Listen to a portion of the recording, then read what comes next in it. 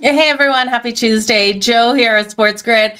It is time for a Puck it with Jo. We have an absolutely loaded slate out there on the board, so I thought I'd get off to an early start here. I will be on game time decisions, so make sure you join me at 6:25 Eastern, going over hockey in some more detail there as well. And if you haven't caught my MLB Cup of Joe, go over and check it out after we're done here because I got a couple bets up on the Diamonds.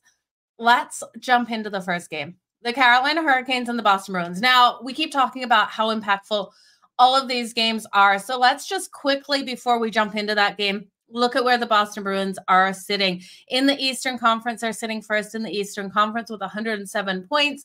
They are five points above the Florida Panthers, who only have 102. When we look here, sorry, they're sitting first in the Atlantic. When we look at the first in the Metro and first in the Eastern Conference, it is the New York Rangers with 110 points. So the Boston Bruins are three points behind the New York Rangers for the President's Trophy. Now, do they want, do either of these teams want to win the President's Trophy? Do the Dallas Stars want to win the President's Trophy, who are sitting first in the Central. The Dallas Stars have 107 points as well um, as Boston. So they are in the same point position there. I don't know if I'd want to win the President's Trophy if I was any of these teams, but it does look like it's coming down to those three. So when we look at the rest of the schedule here, we could see anyone take it. Um, but I do think it will be the New York Rangers. So looking at the Boston Bruins taking on the Carolina Hurricanes tonight, the Carolina Hurricanes are sitting second in the Metro. They have 105 points, so they're five points behind the New York Rangers for taking that first place in the Metro. I do think we're going to see a great performance out of them tonight. Now, Kochetkov should be getting the start and Swayman here for the Boston Bruins. I was hoping we were going to see Andersen in goal, but I'm not seeing him. Andersen has been completely phenomenal out there for the Carolina Hurricanes since coming back from his time off due to that injury, uh, blood clot injury it was. So he's been fantastic. I do think in this one, you look at this game to stay under that total. This total of five and a half, you guys, I just think is too high. I also like the no goals in the first 10 minutes. That's coming in at plus 106. Five of the last six meetings between these two teams have gone under five and a half. I know it's a low scoring total, but you also look at what these teams have been doing as of late. The Carolina Hurricanes in their last 10 games are 8 1 and 1. To that under, the Boston Bruins are sitting six and four to the under in their last 10. Now, six goals the Canes have allowed in their past five games, and they've recorded three shutouts as well. And the Boston Bruins, 14 goals allowed in their past seven games, so allowing an average of two goals per game. I do think this is a nice low scoring one where you can just hit that under five and a half and not worry about a winner. Jimmy, thank you for being here. It's good to see you pop up. Okay, the next game we have the Washington Capitals taking on the Detroit Red Wings. Probably one of the most meaningful games of the night. Can the Washington Capitals on the road finally stop losing these games? They've lost their last six games, gone 0 4 and 2. It's looking disastrous. Now, Ovechkin is trying to get his team to the playoffs, and Charlie Lindgren has been phenomenal in goal for them. He's got a save shots on goal prop of 26 and a half. And I do think you take it to the over tonight.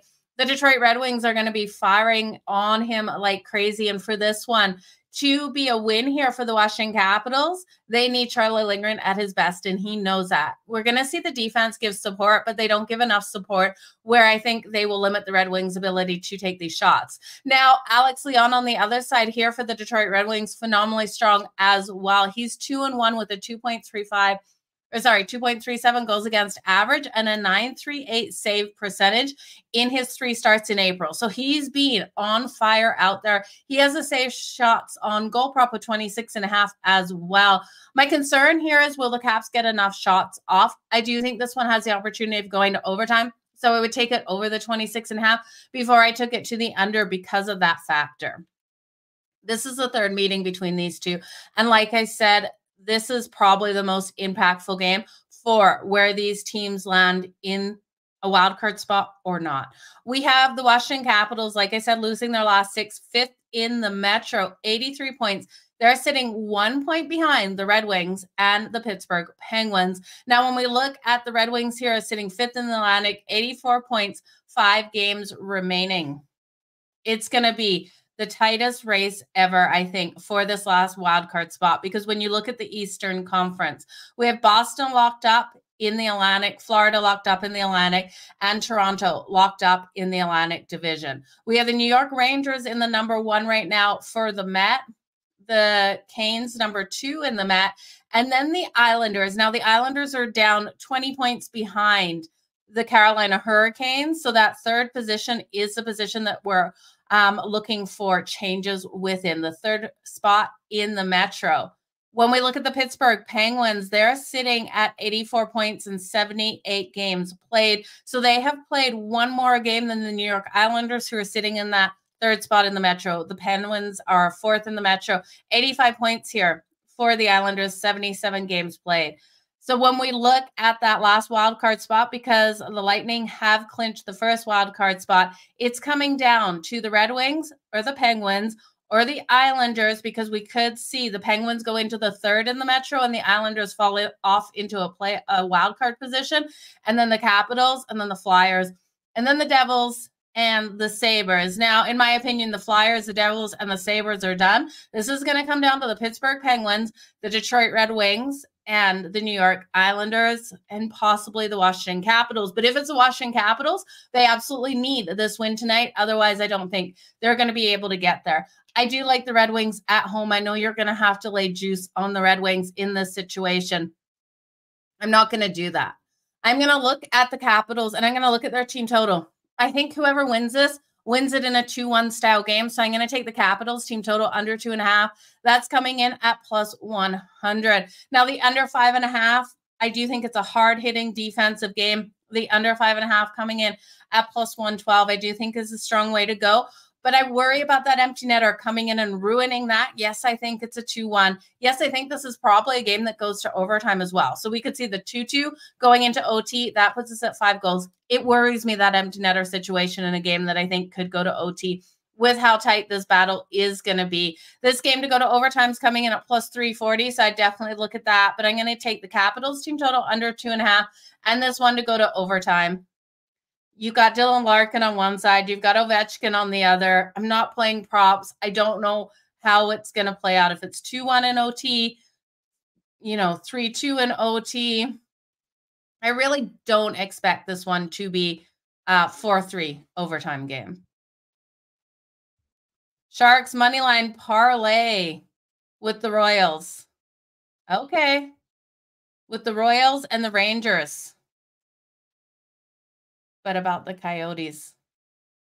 I don't hate it. We'll look at we'll look at all the games on the ice. So many sports on tonight. Yeah, it's going to be a great game out there. Um, I'm not betting a lot on these meaningless games at the end of the night with the Sharks and the Coyotes. The Sharks are playing Calgary. The Coyotes are in action versus Seattle. Those games aren't meaningful. You can play some player props, I think higher scoring. So when you're looking at one of those teams to win on the money line, I would stay off it. But we'll get to those games. Let's firstly look at the Ottawa Senators taking on the Florida Panthers. Now, current odds on this game here. Let's pull it up. The Florida Panthers minus 245 plus 198 for the Ottawa Senators. That total of six and a half, juice to the under at minus 130 to the under and plus 106 to the over. Now, the last time these teams played, the Florida Panthers absolutely spanked the Ottawa Senators, winning at six to nothing. They've actually really dominated this matchup versus each other, um, winning eight of the last 10 meetings. Korpisalo expected here for the Ottawa Senators and Bobrovsky expected for the Florida Panthers. Now, the Florida Panthers have lost their last two that loss to Boston.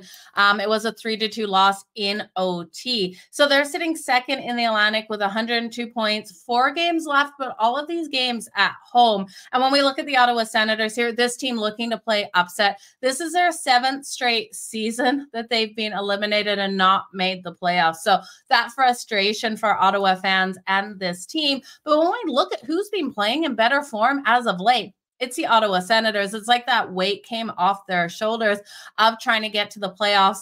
And now they're actually playing good hockey. If only they started this way. They're six and three um, in their last nine games. So they've been playing strong. We look at the Florida Panthers, they've gone 2 7 and 2 in their past 12. It's not what we wanted to see out of them. I'm going to look at a couple of different players that I'm going to circle here. Now, we know there's a feud between the Matthew or the Tkachuk brothers, Matthew Tkachuk and Brady Tkachuk. Brady Tkachuk actually has more goals than Matthew Tkachuk, but Matthew Tkachuk has more points. So he's been able to get more assists up on the board.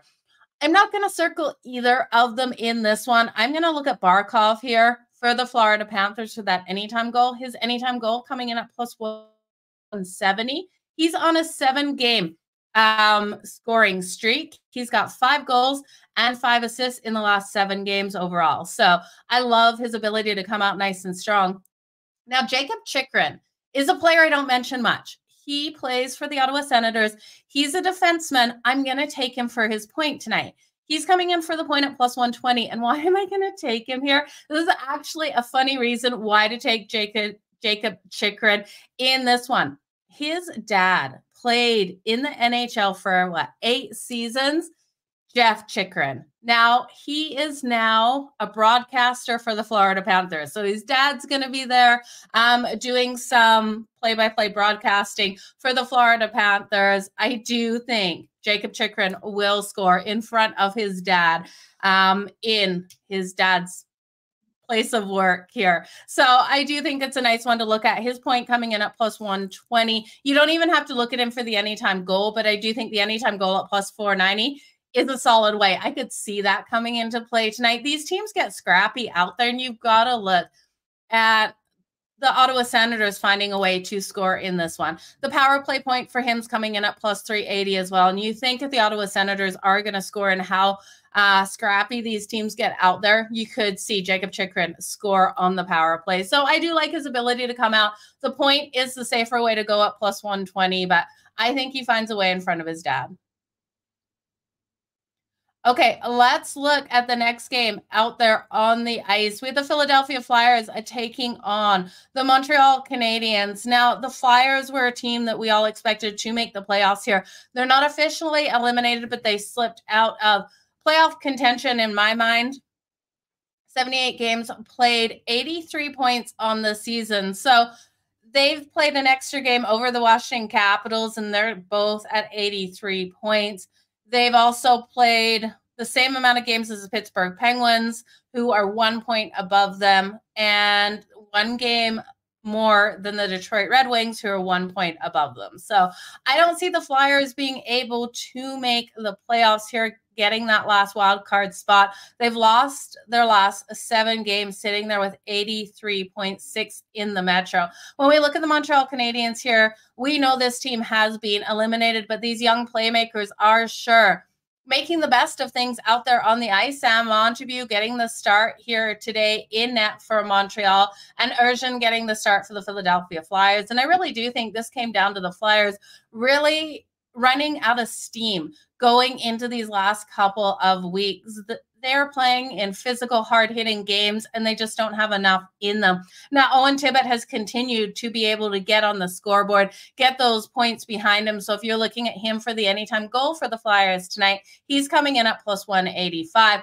I do like looking at the players for Montreal here because I do think this is going to be a higher scoring game. I'm taking the over five and a half at minus 138. I'm also going to look at Cole Caufield for the anytime goal here for the Montreal Canadiens. Now, he has been held off the scoreboard versus the Flyers this season, but this is his 200th game in the NHL tonight. And I do think it's an impactful one for him. The anytime goal coming in at plus 165. And he's also he's got a goal in the last four games. So he's been rolling nice and hot.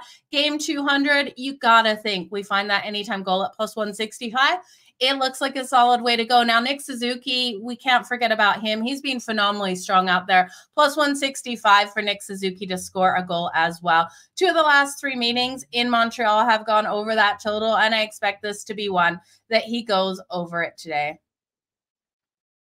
The Islanders and the Rangers, you're taking over five and a half. That's going to be a great game. We'll get to that one in just a second. First, we're going to talk about Toronto taking on the New Jersey Devils. Now, Joseph Woll expected to get the start here for the Toronto Maple Leafs. Second night of a back to back. They're off the overtime win last night versus the Pittsburgh Penguins. I tell you, I had the Penguins in that one. I really expected more out of that team. I expected them to get the win, but Toronto came and did what they do at home. They played phenomenally strong. Now, the New Jersey Devils are starting Jake Allen in net. The last time he faced the Toronto Maple Leafs, they were able to record the win. The Devils were he saved 42 shots on his net. Jake Allen's been fantastic in some of these games and other games he's gone back to the Jake Allen that we all knew in Montreal versus the Toronto Maple Leafs tonight. And Auston Matthews looking to break that um, record for goals. He's coming up on that 70 mark, you guys. He hit 65, tying Alex Ovechkin's 2007 2008 record uh, for the most goals of an active player on the ice so he's at 65. His anytime goal tonight coming in at minus 110. There is value in Auston Matthews to come out nice and strong. As long as Jake Allen doesn't shut things down here, which you guys, I don't have that much faith in Jake Allen. I expect this to be a 4 3 style game going over that total. I don't expect it to be a low scoring one. So give me the over six and a half at minus 110. Give me Auston Matthews for another goal here uh, at minus 110 for his anytime goal. You could combine those two together in like a slight parlay. Toronto sitting um, third in the Atlantic. So Toronto's points right now, I believe it's 99. Yeah, 99 points on the season. They played 77 games, so they have five games left for them. Now, the Devils did beat the Maple Leafs back on March 26th. It's not that long ago. That was when Jake Allen saved 42 shots on his net. It was six to three. I can't see him going that phenomenally strong in this game, but I do think the 27 and a half is light. I expected that number to be closer to 30 and a half or 20, you know, 29 and a half, 30 and a half save shots on goal for Jake Allen. And then I would have been looking at the under, but at 27 and a half, I'd look to the over. The books have a juice so at minus 125. Okay. The, these teams play again on Thursday in Toronto, too. So if you're looking for Auston Matthews to hit that 70 plus goal mark, you need five more goals out of him. He's got two games versus the Devils. So you need a goal. I think you need two goals out of him tonight, two goals out of him in the next one. I don't know, you guys. The 70 mark is going to be hard. When we look at Auston Matthews and who they have left, Toronto has left. So two more games versus Devils. We can count on one goal in each. And then it's the Red Wings, Panthers, and the Lightning. The Panthers are playing so much for so much. The Red Wings are playing for so much. The Lightning and Toronto, they play hard hitting games, normally high scoring though. We need the majority of these goals to come versus the Devils because one versus the Lightning. I don't know if he scores versus the Florida Panthers or the Detroit Red Wings because Detroit's going to be in a situation where it is a must win defensive battle out there. So I would look for him Maybe we look at Auston Matthews for two goals tonight. Okay, let's move on to the next game, you guys. You're talking about it already. The New York Rangers and the New York Islanders in action at 7 p.m. Eastern. Now, Igor Shesterkin expected to get the start here for the Rangers and Varlamov for the New York Islanders. He was solid in his last game out. I really like what we've seen out of him. Current odds on this one, if I can find them. Give me one second, you guys. There's so many games in action tonight. We have a total of five and a half juice to the over at minus 120 to the over five and a half. We also have that money line sitting with the New York Rangers at minus 137 the New York Islanders at plus 114. If you think the Rangers can win this big, laying one and a half at plus 190. Like I said, this team is sitting in first in the Metro, and they're also looking to get that President's Trophy. They have 110 points on the season. So they're three points ahead of the Boston Bruins for that top spot in the Eastern Conference and the President Trophy, and three points ahead of the Dallas Stars for the President's Trophy. So they can't take the loss here versus the Islanders. The problem here, the Islanders have been locking down in playoff style hockey already. And we know they're not there yet. They have been able to move into that third spot in the Metro with 85 points. They're one point and one game in hand over the Pittsburgh Penguins for that third spot in the mat. So for them, this is do or die hockey out there as well. I expect a low scoring battle and a low scoring battle right out of the gate. I'm going to take the under one and a half in the first period. That's coming in at minus 112. I'm taking the no goals in the first 10 minutes. That's coming in at plus 110. It's the best value I can get in this game, other than this game to go to overtime at plus 340. I don't want to take a side in this one. I think this is such a low scoring, tight battle. I would be shocked if we see those goals pouring in to start this game. I would think between this biggest rivalry out there on the ice, we see these teams completely locked down with those goals coming late. One goal in the second, one goal in the third to tie this up and to push it to OT. So I think it's going to be a crazy night out there on the ice in this one. So give me this one going um, to overtime at plus 340. You're going to ride with the Red Wings and the Kings on the money line. I like that. I think the Kings come out and dominate. They're playing the Ducks tonight, so we will get into that one. The Habs probs tonight. Yeah, the Habs should come out nice and strong. I love looking at those players for um, great games, like 200th game. What is that word? You guys know what I mean. Impactful games. It's not impactful.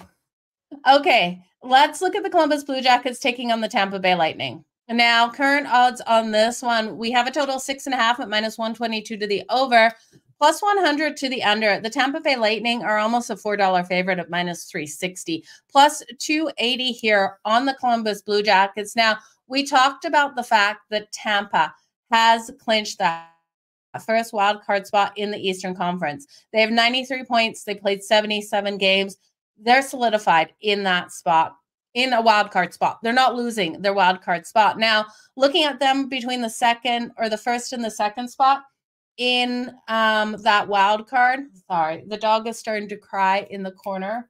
And I don't know why. I think my daughter is out there. 93 points here versus 84 for the Detroit Red Wings. So they're sitting really comfortable in that spot taking on the Columbus Blue Jackets tonight. Could this be a look ahead situation for their next set of games?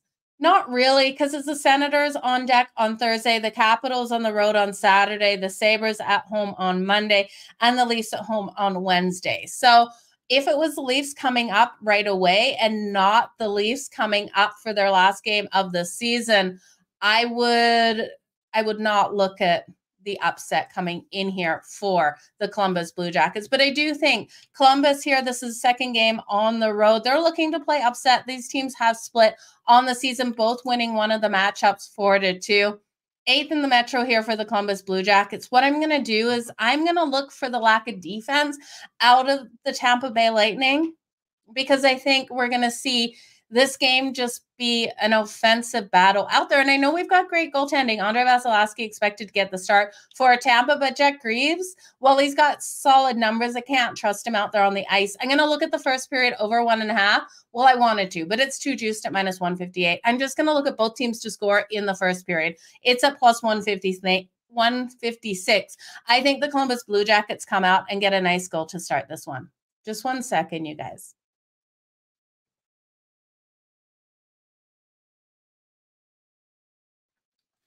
Sorry about that. The dog was crying and distracting my brain as my daughter left the house, I think. So let's look at the next game here. The Buffalo Sabres are taking on the Dallas Stars. Oh, and before I forget, we got to look at Nikita Kucherov here, the Tampa Bay Lightning. Two plus points tonight coming in at minus 120, the anytime goal at minus 110, and two plus goals at plus 600. Nikita Kucherov has 136 uh, points on the season. You know he wants to keep this lead. Nathan MacKinnon's only three points behind him. These guys are so competitive out there. So I do think we see Tampa get the puck to Nikita Kucherov for him to keep racking up his points tonight. He will be out there playing on the ice if it comes down to those final minutes and Tampa's up great in this one. So I do think it's a fantastic thing to look at.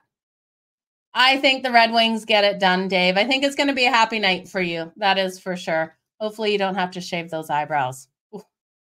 Okay, the Buffalo Sabres. If you guys don't follow picks from Dave, go give him a follow. He's a great follow for sure. The Buffalo Sabres taking on the Dallas Stars. The Dallas Stars are a huge favorite here. The Dallas Stars coming in at, as soon as I find it, minus 230, plus 188 for the Buffalo Sabres, total of six and a half. Now, six and a half is juice to the over, or sorry, juice to the under at minus 122, plus 100 to the over. Plus one and a half for the Buffalo Sabres is minus 130. The Dallas Stars minus one and a half is plus 108. I'm looking at this one as a possible upset here for the Buffalo Sabres. Not that I don't think the Dallas Stars have a ton to play for, but I don't love the scheduling spot here for the Dallas Stars. And I think there's so much value on the Buffalo Sabres, plus one and a half on that puck line at minus 130. Tage Thompson has been playing absolutely phenomenal for the Sabres. His anytime goal coming in at plus 195 is something I'm going to uh, bet here. But we look at the Dallas Stars, they're coming off that road game in Colorado, taking on the Avs. They got the huge win over the Avs, seven to four. They've come home to play this game, and then they have the Winnipeg Jets on deck on Thursday. So they have a five point edge over the Colorado Avalanche and a seven point over the Winnipeg Jets, but still central divisional opponents on either side of this matchup here versus a team that's sitting six in the Atlantic with 79 points. Luukkonen has been strong for the Buffalo Sabres. So I do think this could be a really tight game. So give me the Buffalo Sabres plus one and a half at minus 130 and Tage Thompson for the anytime goal. Now I'm going to stay off looking for the upright upset. I could see it happening though, but Dallas is so phenomenally strong that I don't want to go against them. When we look at who you can look at or count on here, for the Dallas Stars to be able to get points or anytime goals is Ben here. He's come in with 12 goals and 13 assists in the last 17 games. And you got to look at the Dallas Stars and what they've been able to do since the end of February. They've gone on a 14 and 3 run. So they've been phenomenal out there. I just think this could be the making of an upset game here. I don't like when a team is playing a weaker team when they're sandwiched between two divisional opponents. It's just not a play for me on that team, especially when you have to lay so much. And you look at them, their home record on the puck line, they're 14 and 23 at home on the puck line. They win games at home. They don't cover. When you look at the Buffalo Sabres on that puck line on the road, 23 and 15. So, strong reasons why to look here at the puck line for the Buffalo Sabres. Kelly, thank you for being here. I appreciate everything um, you do as well. I appreciate all of your kind comments. Okay, the Winnipeg Jets and the Nashville Predators. Another game so impactful out here. Connor Hellebuyck expected to get the start here for the Winnipeg Jets. Saros for the Nashville Predators. Now, Saros versus the Winnipeg Jets has been strong in his career, going 6 6 and 3 with a 2.47 goals against average and a 927 save percentage. He's also been able to record one shutout win in those 15 games versus the Jets. Now, the Winnipeg Jets are rolling hot. They're third in the Central with 100 points. They've clinched their playoff spot with the Nashville Predators sitting fourth in the Central. They're the first wild card spot with 94 points in the Western Conference, but have played one more game than Vegas, who has 92 points. So Vegas is only two points behind them with one game in hand not a nice situation here for the Nashville Predators. I do think at home here, this is a must win spot for the Nashville Predators, and I think they get it done. When you also look at the Winnipeg Jets, you got to look at who they have on deck as well. The Dallas Stars are in that look ahead with Winnipeg. Uh, yeah, with Winnipeg on deck. When we look at Winnipeg, they have the Dallas Stars on deck and then the Colorado Avalanche on deck on Saturday every single game matters. I absolutely know that, but I do think here this game for the Preds is a game that is a must win for them, and I think they're able to pull it off. But you look at Winnipeg, those two games on deck, this schedule is so hard for this team. Now they've got 100 points, they have clinched. So if they lose this, it's not going to impact them, but it, it will impact where they finish within the division. So the Predators at minus 105 I think they win it tonight. And if they do win it tonight, or if the St. Louis Blues lose, so they can lose tonight and the St. Louis Blues lose, and then they do clinch a playoff spot, a wild card playoff spot. But I do think they clinch it with the win tonight. so many different factors that go into these games. I tell you, going over these games today is so much to consider. The Minnesota Wild and the Colorado Avalanche, 9:30 Eastern start on this one. The Minnesota Wild at plus 160. Another team that people had high hopes in making the playoffs. Minus 194 here for the Colorado Avalanche. While the Wild haven't been eliminated, I just don't see them making it. This total is six and a half at minus 114 to the over, minus 106 to the under. When we look at where the Minnesota Wild are sitting, they are sitting in the Western Conference two or they've got 83 points in the Western Conference. Vegas right now holds that last wild card spot in the Western Conference with 92 points. They're 83 points. This team is so far behind. I cannot see a way with them being down nine points that they won't get eliminated from playoff contention. It's just, they're too far back. Um, they've got five games left though, so Vegas would have to lose everything. They would have to win everything and jump over the St. Louis Blues. Hope the St. Louis Blues lose everything. So it's asking a lot, but I don't think these players they know it, but I don't think they're going to go out on a low note. I do think they try to get the upset win over Colorado tonight. I'm looking for this one to be a higher scoring one. It goes against what you should think when you look at Georgiev here getting the start for the Columbus or for the Colorado Avalanche because of how we've seen him this season. In the two starts versus the Minnesota Wild, he's been phenomenally strong 1.47 goals against average and a 941 save percentage.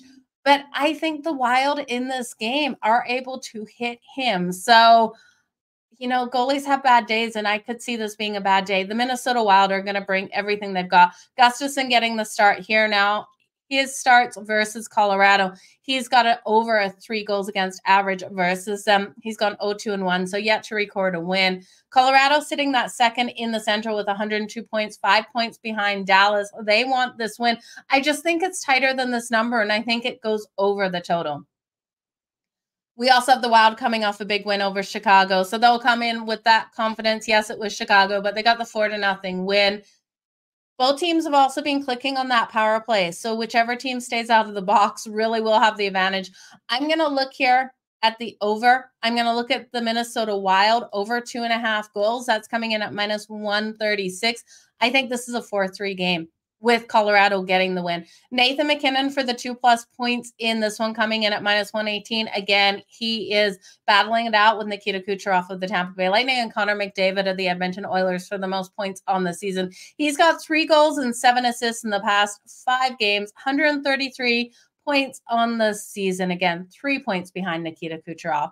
When we look here at the Minnesota Wild, if they're able to keep this tight, it is because of Kaprizov. Kaprizov's being phenomenal out there. His two plus points, the value is there at plus 172. If you just want to look at him for the power play point tonight, you can look at that as well. I believe the power play points coming in at plus 120.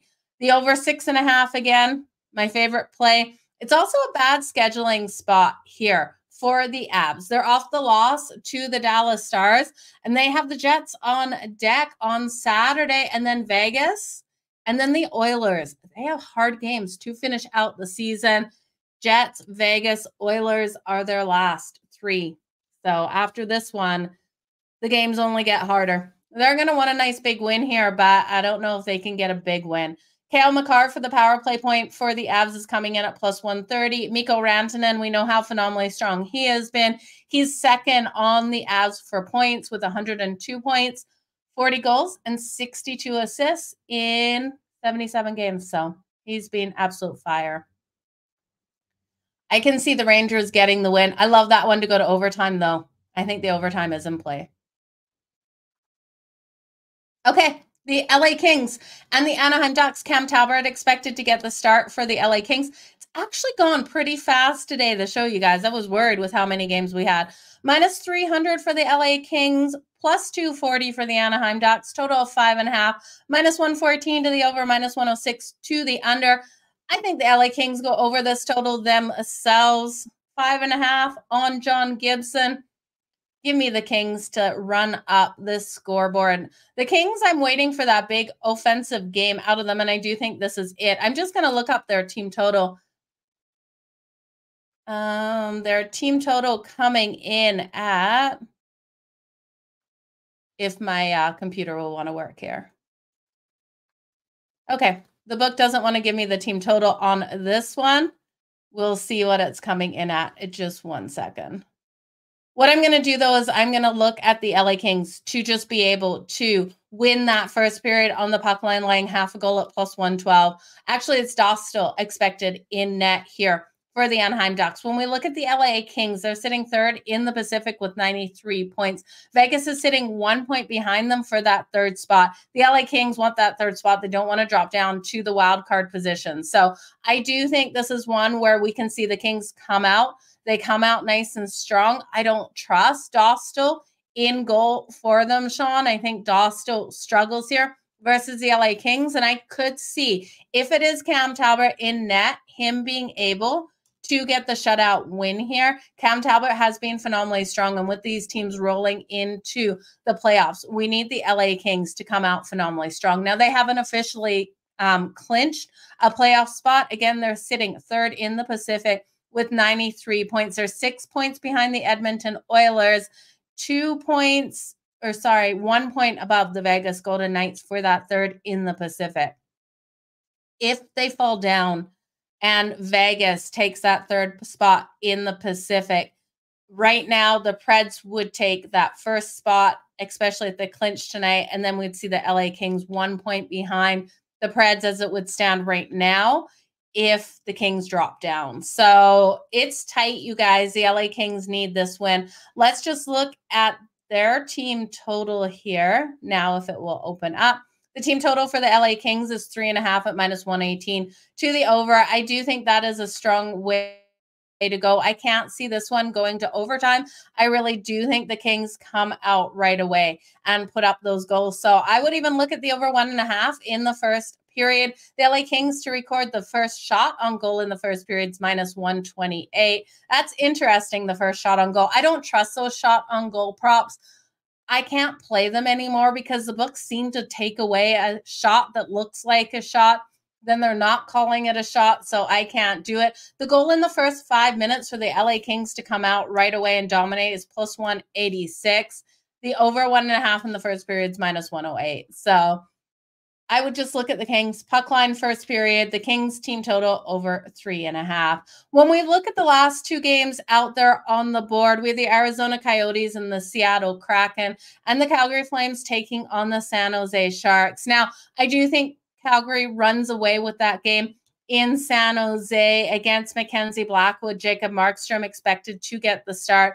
When we look at odds in this game, though, I'm just not in love with betting games that are meaningless here the last time I watched the Sharks roll into Calgary at the end of last season, the Sharks dominated. I think we probably see Calgary pay back that last game of last season for the Calgary Flames. They're minus 220, though. I do think it's an offensive game. So I would take the over five and a half. The books have it juiced so at minus 142. I would look at Nazem Kadri for the anytime goal and Kuzmenko for the anytime goal. I would look for them to be able to convert on the power plays. So if you want to take the power play points for both of those players, I like it as well. And then looking at the Arizona Coyotes and the Seattle Kraken, we have the Coyotes at plus 202. Or sorry, that's tomorrow. That's versus uh Vegas or Vancouver Canucks. So I was like, why is that line that way all of a sudden? Plus 125 here for the Arizona Coyotes and minus 150 for the Kraken. Total five and a half at minus 134 to the over. I would look at this one to go to the over. It does look like Grubauer versus Vejmelka in net. The value on the Arizona Coyotes to pull off the upset against a Seattle Kraken team that I don't have faith in. I don't know about you guys. I have no faith in the Kraken with Clayton Keller to get the goal is where I'd be going. But again, these last two games mean nothing. So I wouldn't bet them. Logan Cooley, though, for the anytime goal, plus 350. Clayton Keller, plus 190. If you're looking at the Kraken, you know they want to finish off strong in front of home fans. So Jordan Eberle here at plus 190. And then um yeah, I would just look at Eberle. He's the one that I trust the most. I want to look at anything else, you guys. Look at some player props in those games. But I appreciate each and every one of you for being here. You got to take Cam Talbot. Look at him for the shutout at plus 800. That is a low number. there's a reason why that's a low number tonight. So I appreciate each and every one of you for being here. Drop what you're liking in the chat below this video. If you could like and retweet, share the video, I would so appreciate it. So more people know to tune in to Puck it with Jo for uh, SportsGrid every day. So you guys, all the best in all of your bets. Make sure you join me on Game Time Decisions, 625 Eastern. If you haven't caught my action on the diamonds, my MLB Cup of Joe is up right now. So go on over and check it out. I got two plays out there, and over and an under. Gonna fade some pitchers um, today in those those under or over games and play on some pitchers in those overs. So you guys appreciate each and every one of you. We will see you back here tomorrow. Bye guys.